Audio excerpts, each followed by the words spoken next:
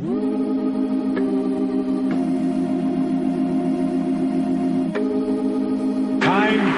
time is very precious to me. I don't know how much I have left, and I have some things that I would like to say. Hopefully, at the end, I'll have something that will be uh, important to other people too. Yeah.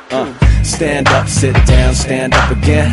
Morse code sent to God, are you listening? He must have been too busy fixing other shit. No call, no response, shows the opposite. We confess to the man who was faceless. I still do the same, but to thousands of strangers. Went through some changes. Some said I'm faithless, cause I replaced the altar with the basement. I often fought the explanations of where people go when the bodies let go of the soul.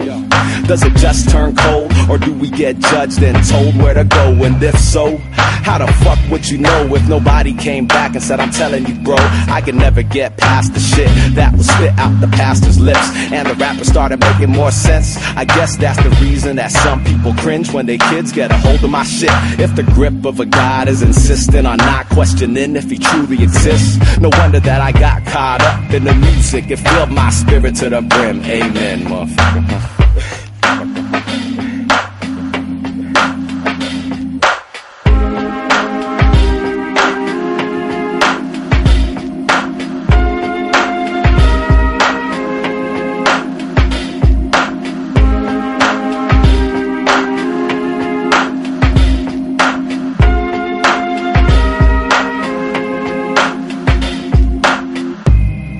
Is my offering card.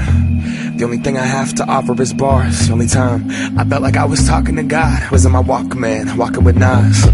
Alright, see, I be going to Sunday school every week. In the back trying to read, but see, something was off.